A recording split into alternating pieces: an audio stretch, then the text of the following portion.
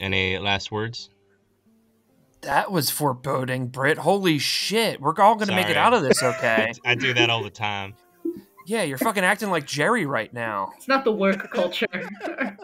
Uh, Lee, about Yeah. how many hours has it been since uh, I called Jekyll? Because they said that they'd be in the area in eight hours. Yeah, I, I, I will say, it time is hard, right? Uh, and it's mostly because it's been weeks since I've said that. uh, uh, I, I, all I'm wondering is if I'm on some kind of like ticking clock with that. uh, yeah, I say so. Like, I, I'm gonna play this entirely narratively and say that Jekyll, I intend for Jekyll to arrive at a meaningful time.